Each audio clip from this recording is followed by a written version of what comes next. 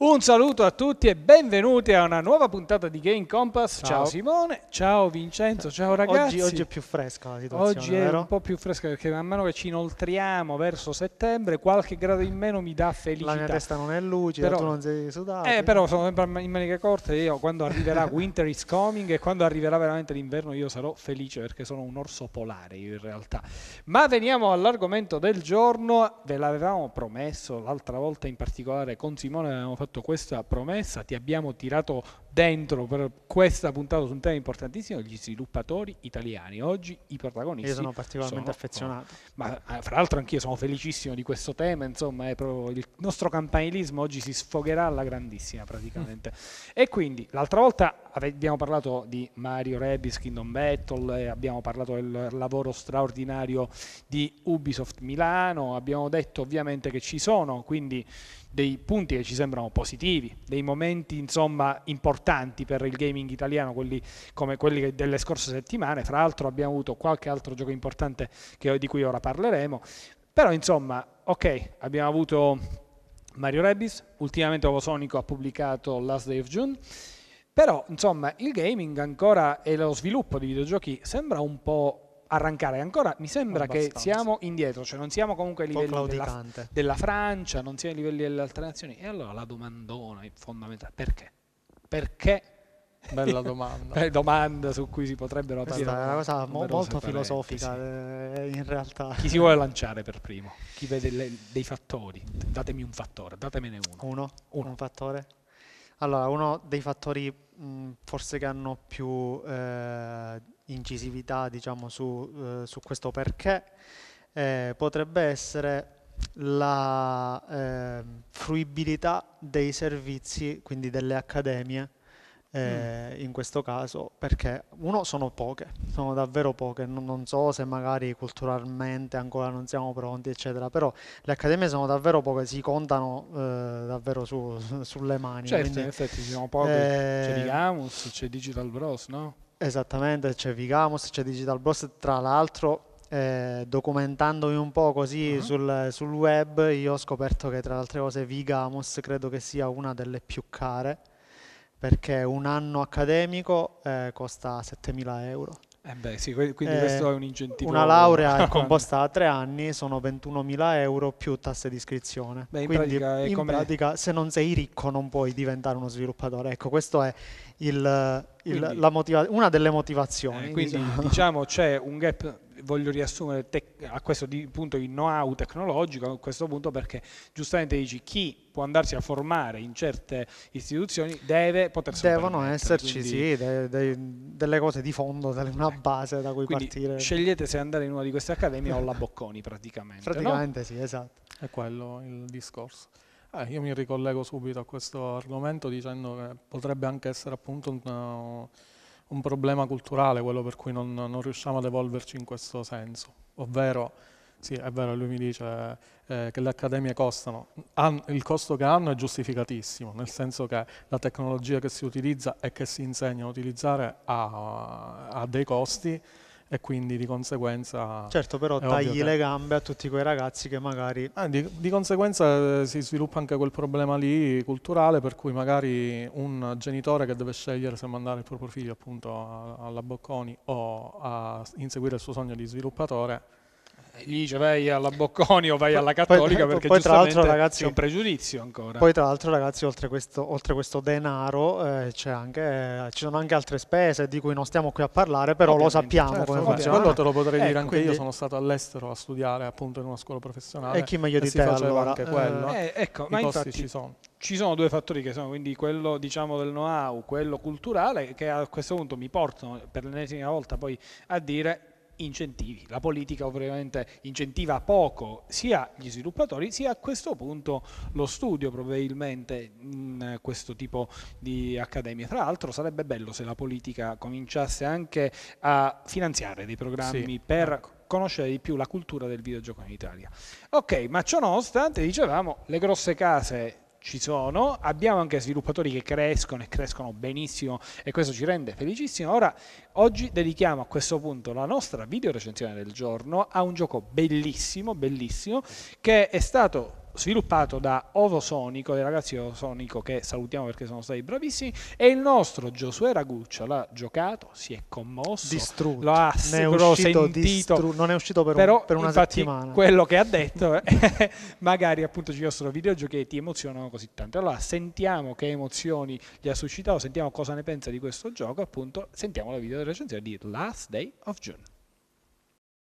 Cosa saresti disposto a fare per salvare la persona che ami? Con questa domanda Ovosonico e 505 Games presentano al mondo Last Day of June, nuova avventura tutta italiana che tratta i difficili temi dell'amore, della morte e del ricordo. Ci sono giochi che lasciano emozioni, altri che le fanno vivere, personaggi per cui si prova simpatia, storie che stillano rabbia, che ci fanno commuovere o a volte disperare. Last Day of June è uno di quei titoli che sul piano emozionale riesce a farci andare a livello successivo in appena tre ore di gioco. I protagonisti di questa storia sono i novelli sposini Carl, timido e impacciato, e June, un'artista dolce e romantica, accompagnati dagli abitanti del villaggio in cui vivono, il bambino, la giovane donna innamorata, il cacciatore e il tenero vecchietto. Il loro idillio d'amore è però rotto da un incidente inaspettato e ogni tentativo di poter rimediare sarà vano. Ogni evento porterà inesorabilmente verso un tragico destino. La perdita del partner è lo spezzarsi di un incantesimo, cambia la vita di chi rimane, e così accade al nostro protagonista. Gli sviluppatori di Ovosonico sono stati attentissimi e meticolosi a questo cambiamento, anche sul piano contestuale. Da un certo punto in poi gli ambienti cambiano radicalmente, i colori dolci tramutano un'atmosfera placida e rilassante in un quadro buio e tetro, che trasuda lo stato d'animo sofferente del protagonista, il quale, bloccato su una sedia a rotelle, si troverà a raccogliere ritratti degli abitanti fatti da June, tramite i quali potrà cambiare il passato. Un meccanismo che ricorda da vicino il film The Butterfly Effect, in cui il protagonista Ivan, interpretato da Aston Catcher, è costretto ad aggrapparsi ai ricordi per poter cambiare il presente. Una volta raccolto un dipinto, ci si trova ad andare indietro nel tempo, nei panni di uno degli abitanti, fino al giorno dell'incidente con qualche ora di anticipo, e si avrà modo di modificare il passato per poter evitare l'accaduto, facendo intrecciare le storie in un grande puzzle di rapporti causa-effetto. Il gameplay è scarno ed essenziale, il numero di azioni è limitato ma funzionale alla storia che si vuole raccontare, gli accadimenti si ripetono e a volte le azioni stesse, ma senza ridondanza, restituendo al meglio il disagio e il dolore che inevitabilmente permeano la storia. Questo non significa che ci si potrà adagiare sugli allori, il giocatore dovrà darsi da fare e risolvere i piccoli puzzle di cui si compone questa avventura grafica. Sul piano tecnico tutto sembra improntato alla massima resa artistica e il risultato è assolutamente poetico sul piano visivo, con cromatismi e chiaroscuri che restituiscono ogni singolo stato d'animo e una colonna sonora che traina sapientemente la storia dall'inizio alla fine. Last Day of June è un titolo che travolge sul piano emozionale e risulta un'esperienza imprescindibile che dimostra quanto gli sviluppatori italiani sappiano raccontare storie arrivando a picchi di poesia inaspettata e senza buchi di trama, affrontando tematiche complesse. Il ritorno al passato del titolo di Ovosonico regala al giocatore un intreccio di storie che raccolgono emozioni, morte e amore in maniera armonica ed equilibrata, offrendo al pubblico un'avventura pronta a commuovere giocatori di ogni età.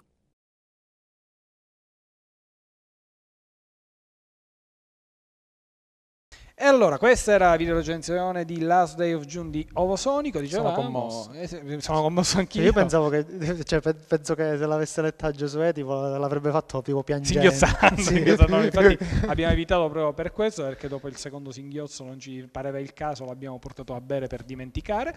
E allora, però, adesso noi vogliamo ricordare quali sono gli sviluppatori, caspita, grossi in Italia, perché abbiamo detto Ovosonico, insomma, ora non si può dire che sia fra i più grossi, però in- intanto è in crescita ed è veramente bello vedere un po' come si sta evolvendo. Te ne posso dire uno io che ce l'ho a cuore. Parliamo uno vediamo- grosso, vediamo. grossissimo. La Milestone. Ah, Eh, eh. Milestone è uno Quello, Milestone in- in my heart. eh. Sì, è la più grossa, diciamo, in Italia insieme ad Ubisoft Milano, ovviamente. Solo che Milestone è proprio tutta italiana. eh. Milestone è tutta italiana dal 96, è nata a Milano e ragazzi, mh, si può... eh, Il vecchio nome era Graffiti, fra l'altro, di Molto Milestone. vecchio, molto, molto vecchio. vecchio. di Spielberg. Probabilmente, probabilmente. Fra l'altro all'inizio non facevano nemmeno MotoGP, facevano giochi come appunto eh, Screamer, era sempre la guida. eh, Questo appunto. ti stavo dicendo. Stavo dicendo, Benissimo. noi anzianotti potremmo ricordarci di Screamer. Screamer era un gioco che uscì e io giocai da piccolissimo in un PC di un amico, tra le altre cose. Eh, vabbè, però diciamo immediatamente da lì poi iniziarono a fare vari MotoGP 2008, eh, poi tutti quelli che Fino vennero, arrivare fino agli- ad arrivare a giochi quali quello che hanno presentato al Gamescom recentemente, Graven. Eh, pure ci sono titoli come Ride 2, eh, Moto, Esatto. MotoGP 17. Ricordiamoci anche Insomma. appunto la, oppure la, la, ehm, la console, la PlayStation 4 brandizzata Valentino Esattamente, Valentino Rossi. esattamente. Eh, diciamo che è uno studio No, è, co- è come. no, no, fra l'altro non è l'unico, dai, in Italia. No. Cioè, abbiamo- parliamo Sì. di qualche esperienza virtuosa, infatti. Infatti, dai, cambiamo argomento, non parliamo più di racing, quindi parlo Reggiseni. di, di Kuno, Ecco, simulazioni. giusto perché. Eh, Caspita, vedi, in effetti in Questo Italia- potrebbe essere un... Sì, e e perché infatti impazza così Perché- tanto il racing in Italia? In? Perché siamo un'eccellenza nelle corse eh, anche dal vivo, cioè non È solo vero. nei videogame. E quindi probabilmente, no probabilmente, sicuramente per quello, anche perché Kunos Simulazioni creano simulatori e poi da quello hanno Sì, sviluppato il loro assetto corsa che è il gioco che diciamo che ha fatto furore negli ultimi due o tre anni. Sento infatti l'emozione di Marcello Ribuffo. Sì, io sento già si sente. il rombo di Marcello. Bene, sì, eh, infatti abbiamo... Tu ne conosci altre? Ah, allora, Milestone e Kunos sono appunto eccellenze dal punto di vista del racing e delle simulazioni. Ovviamente io voglio sempre ricordare Ubisoft Milano che dai lavoretti appunto, diciamo, lavoretti dove non faceva, eh, non era veramente la protagonista di sviluppo del team, io voglio dire anche Beyond Good and Evil ebbero, diedero un contributo, ora comunque con Mario e Rabbids Kingdom Battle penso che abbiano fatto il salto, però insomma c'è anche il gruppo Digital Bros che eh, sta comunque dando qualcosa di buono. E dal punto di vista della produzione con eh, eh, 505 Games che insomma ha prodotto ottimi giochi li ha anche distribuiti, ma anche con Halifax che fa parte del gruppo che distribuisce principalmente eh, questi giochi e la distribuzione è un fattore importantissimo nell'industria videoludica, quindi non la sottovaluterei Tra l'altro. Halifax traduce anche, se, se non ricordo male. Fa anche delle traduzioni Beh, e io localizzazioni infatti- in italiano. Sì, infatti questo mi riporterebbe tra l'altro un argomento a cui non avevo ancora pensato, che se vi ricordate CD Projekt Red, i polacchi, iniziarono Certo, proprio in questo The modo, Witcher. distribuendo e traducendo giochi già esistenti e poi che non sia questa la, la svolta che stiamo aspettando in Italia, magari distributori che cercano di investi- cominciano a investire sulla produzione. Questo vedi, potrebbe essere infatti un bell'interrogativo. Io lo interrompo perché voglio dare un attimo la linea al TG come si fa in questi casi quando ci sono le ultime notizie e lo voglio dare al nostro grande direttore e eh, appunto giornalista di punta nonché youtuber Angelo Ruoppolo e al suo VG Compass.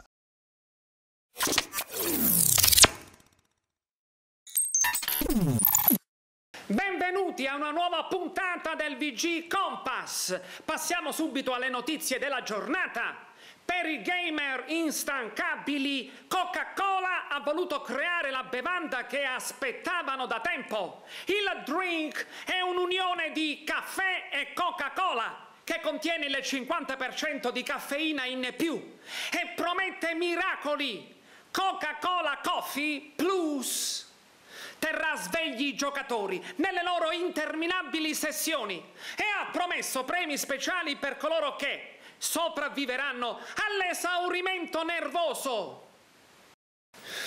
Mario e Peach sono la coppia più famosa nel mondo dei videogiochi, come Luigi e Daisy, ma molti fan si chiedono perché Wario e Waluigi non abbiano un partner. Ebbene, è stato lo stesso creatore Shigeru Miyamoto. In un'intervista alla rivista Nintendo Power a spiegare di non avere voluto disegnare le fidanzate di Wario e Waluigi perché avrebbero distratto i due dalla propria missione. E ha inoltre dichiarato ho scelto di non crearle. Dopo aver visto la fine che ha fatto Mario durante le sue avventure per salvare la sua ragazza. Godzilla Monster Planet permetterà di poter vedere il famoso mostro nipponico in vesti totalmente inedite. Da questo novembre sarà disponibile in Giappone una fusione tra Hello Kitty e Godzilla, rendendo quest'ultimo un mostro molto dolce kawaii. Per la realizzazione di Godzilla Monster Planet, Toho e Sario hanno collaborato per una serie di disegni sulla leggendaria lucertola giapponese. Ma lo stesso Toho non ha dormito per giorni, avendo continui incubi sulla possibile vendetta del mostro. E da questa edizione del videogiornale Compass è tutto. Appuntamento alla prossima giocata.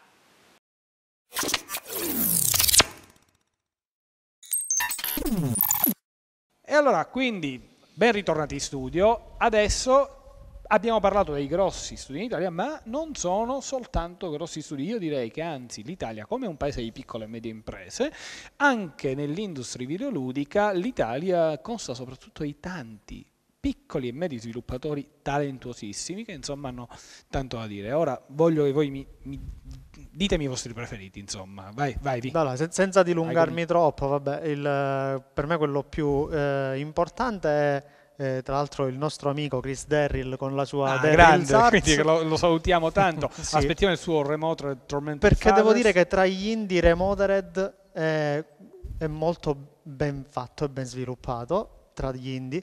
Eh, poi vabbè, Ovo Sonico, Beh sì, Abbiamo detto, anche, anche se, se hanno distrutto un nostro collaboratore, però sono bravi davvero. Esattamente. Continuate Eh, così. Continuate direi. così. Io Eh, dalla mia ci aggiungo Mixed Bag, che sono i ragazzi di Torino. Di cui hai recensito che hanno fatto 8. e, e Futuridium prima, che sono finiti anche sulle Forma 8 è console bellissimo. principali, su, su Xbox, su PlayStation, eccetera, anche su Switch adesso. Su Wii U. E quindi diciamo sono indie però di un certo spessore. ecco. Anche noi li abbiamo in Italia e penso che questa sia una delle strade da percorrere per far evolvere questa industria, ovvero buttarsi sulla, su- sull'in- sullo sviluppo indipendente. Io tra l'altro vorrei ricordare anche qualcuno che noi abbiamo intervistato, in particolare al display vincitori del Decine. Drago d'Oro, che sono i ragazzi di 34 Big Things, autori Redout, che tu hai Che io giocato ho giocato e ho recensito recensito. sul nostro sito web. Poi vorrei dire e ricordare anche quelli che sono gli sviluppatori di due bei giochi che sono arrivati anche su console, che sono appunto i ragazzi di Storming a Teacup, produttori di Nero e Lantern, sviluppatori di questi due titoli. Insomma, mi aspetto sono, molto anche da loro. E poi, ovviamente, del campanilismo io di genere, un campanilismo non, non appunto nazionale, ma di genere. Le avventure grafiche si continuano a produrre in Italia e ci sono piccole realtà che lo fanno benissimo. Elf Games Works, per esempio, con Little Briar Rose ci ha dato un ottimo esempio. Però io vorrei ricordare anche i fratelli De Angelis di Footprints Games che hanno fatto Det- Detective Gallo, ma anche secondo me sono molto interessanti gli autori di The Wardrobe, che sono i ragazzi di Cynic Games. Insomma, secondo me ci sono realtà Sì, ci sono. da tenere, ne stiamo dimenticando altre, Sì. scusateci tutti perché in effetti Anzi Eh, no, scriveteci. No, in, in scriveteci, in realtà esatto. io è corretto che, che, eh, nomini anche la Store Mind Games perché collabora Beh, insieme certo. a, a Daryl eh, per, eh, per lo sviluppo di Remotered, quindi è giusto che vengano nominati anche loro. Chris, quando dici tu vieni qua in studio e ci racconti un po' la storia di Remote e tutto il resto, questo è l'ennesimo invito ufficiale. E allora a questo punto noi andiamo, facciamo una cosa, dato che questo è il presente, il nostro Marcello è andato una volta ancora a, a scavare nella storia di quello che fondamentalmente è il gaming in Italia, lo sviluppo e la produzione, che ha una storia veramente bellissima e anche abbastanza antica e molto interessante. Vediamo un po' questa Italian Gaming History a cura di Marcello ricordi. Ribuffo. Quando si parla di videogiochi, l'Italia è tra i paesi industrializzati meno gettonati. Software house poco presenti e soprattutto una cultura non a passo col resto del mondo ci hanno un po' penalizzati anche a livello di mercato. Solo adesso vediamo un po' di luce con software house come Milestone e Kunos e nuove realtà emergenti come Caracal Games, Mixed Bag e Storm in Anticup e altre che stanno cercando di dare un po' di lustro al nostro paese. Nonostante i cabinati fossero già comuni a partire dagli anni 70, è dal decennio successivo che il nostro paese comincia realmente a muovere i primi passi all'interno di un mercato in ascesa costante. Nel 1981 la Zaccaria costruì il suo primo cabinato, il Quasar. Non solo era una novità in sé, ma risultò anche innovativo per via dell'introduzione del co-op. Infatti due giocatori potevano condividere il singolo schermo, entrando nella stessa partita. Questa peculiarità lo spinse appunto di essere uno dei cabinati più apprezzati negli Stati Uniti. Nel frattempo però, oltre alla costruzione di intere macchine da gioco, divenne fondamentale entrare nel mercato videoludico con dei software proprietari. Essendo la patria del calcio, uno dei primi videogiochi italiani ad avere un discreto successo fu iPlay 3D Soccer per Amiga e Commodore 64, sviluppato da Simul Mondo. Se oggi possiamo giocare a FIFA o Pro Evolution, lo dobbiamo anche a questo, in quanto fu uno dei primi giochi di calcio con visuale tridimensionale dall'interno del rettangolo di gioco. Questa software house italiana si dedicò successivamente alla produzione di avventure grafiche, fra cui quelle su Dylan Dog, che ebbero un discreto successo. Se sui software gli italiani cominciavano a prendere spazio, sull'hardware le difficoltà cominciavano a diventare eccessive. L'8 bit era ormai obsoleto e nuove più potenti macchine, tra cui il PC che entrava nelle case, portarono le società italiane a rinunciare alla produzione di proprie console per via dei costi divenuti ormai proibitivi. Tra i giochi più conosciuti in questi anni vi è sicuramente Lupo Alberto, basato sul fumetto creato da Silver nel 1973. Tra quegli anni e il nuovo secolo nascono e muoiono infinite software house, ma se c'è un elemento che ha cambiato radicalmente la fama delle società italiane è sicuramente il Nintendo Game Boy Advance, per il quale lo sviluppo di titoli italiani ebbe notevole fortuna. Questo spinse alla creazione, tanto da diventare pionieri, allo sviluppo di giochi per Etled, che ebbero notevole successo anche fuori dai confini italici.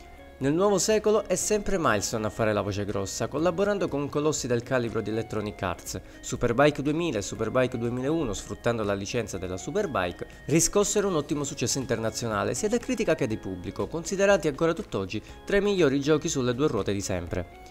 Il 2000 è un anno importante anche per l'entrata in scena del primo studio Ubisoft in Italia, Ubisoft Milano, che contribuì a dare natali a Paperino Operazione Papero.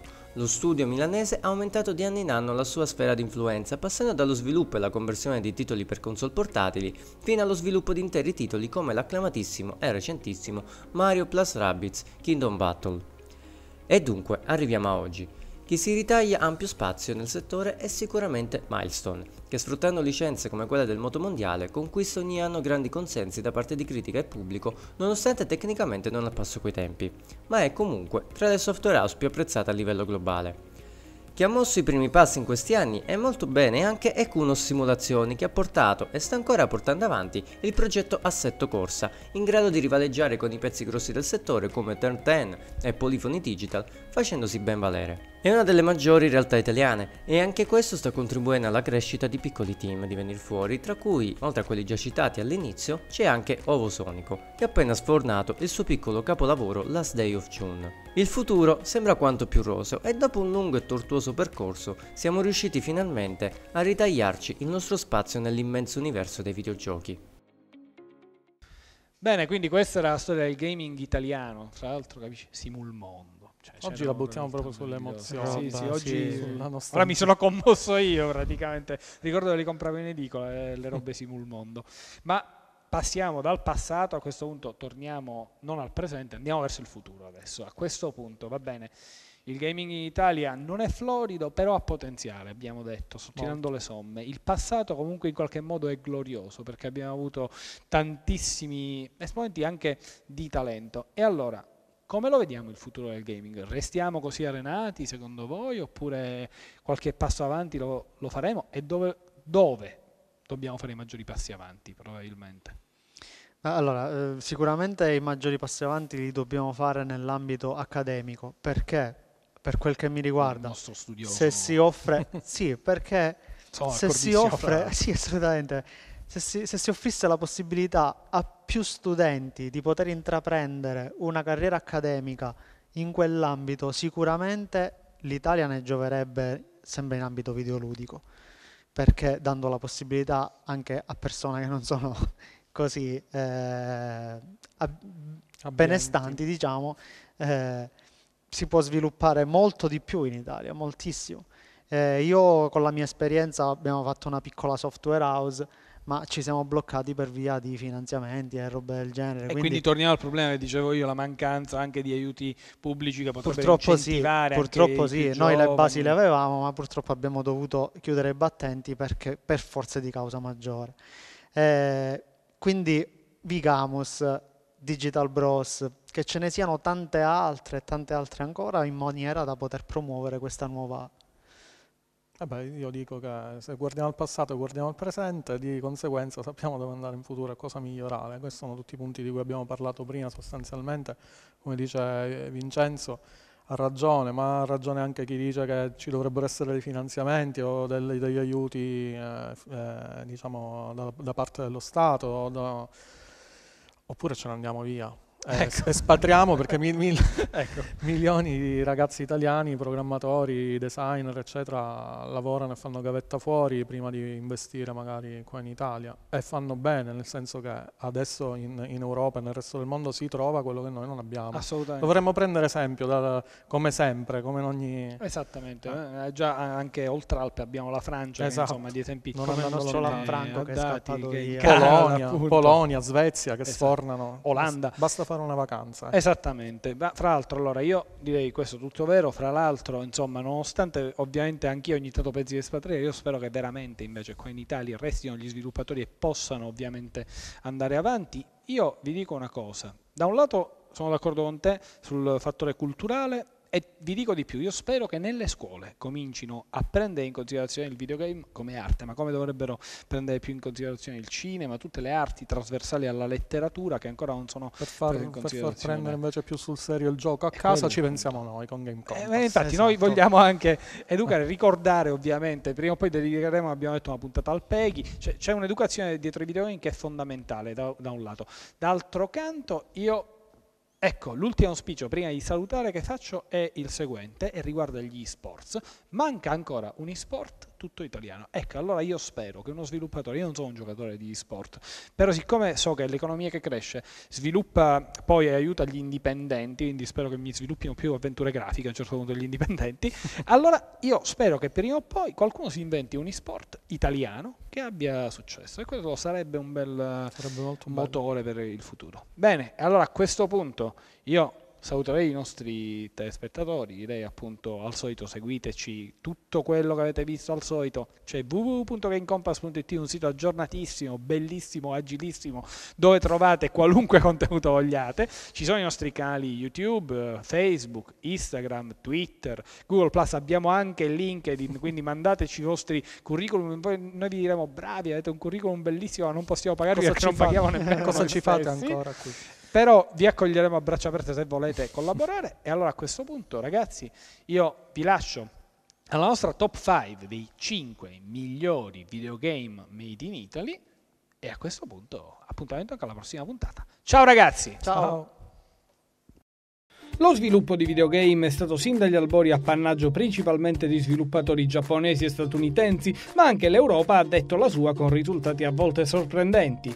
In questo scenario la produzione videoludica in Italia non è di certo fra le più fervide, ma anche il bel paese ha espresso vari titoli interessanti e fra questi ne abbiamo selezionati 5 davvero indimenticabili.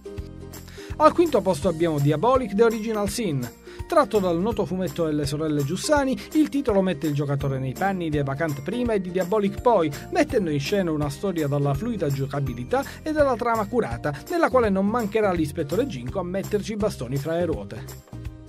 Al quarto posto abbiamo Nippon Safe, Sviluppato dai genovesi Dynabyte, il gioco ci mette nei panni di tre personaggi. Interamente ambientato a Tokyo, Nippon Safe è un'avventura grafica dai contorni fumettosi molto ben curata, con una trama non lineare ma solida e un umorismo intelligente che legano sapientemente i ritmi della commedia a quelli della crime story. Al terzo posto troviamo The Watchmaker. Pubblicato nel 2001 da Precision, si tratta di un videogame investigativo dai tratti paranormali che riesce a offrire buoni dialoghi, enigmi di riguardo e una bella trama, regalando un'avventura grafica che in molti ricordano ancora oggi. Al secondo posto troviamo un grande classico dei giochi di guida all'italiana, Screamer. Nato negli studi di Graffiti, azienda oggi internazionalmente conosciuta come Milestone, era un gioco di guida arcade che richiamava Ridge Racer e che godeva di una buona grafica, bei colori e di una buona longevità, al punto da guadagnarsi le lodi della critica internazionale. A questo gioco seguirono Screamer 2 e Screamer Rally e il progetto finì lì perché Milestone decise di sviluppare soltanto giochi su licenza fino ad arrivare nel 2000 a un altro grande successo con Superbike. E il primo posto va a una delle poche avventure grafiche italiane che sono davvero riuscite a rivaleggiare con i giganti d'oltreoceano. Stiamo parlando di Tony Tuff and the Night of Roasted Moths, avventura dalla grafica ben curata e cartunesca e che gode di enigmi intriganti, di una trama molto ben congegnata, di dialoghi straordinari e di un character design che rende il protagonista e altri personaggi di contorno davvero indimenticabili. Sicuramente una pietra miliare delle avventure italiane che trovò anche un sequel in Tony Tuff 2 A Rake's Progress pur non godendo dello stesso successo.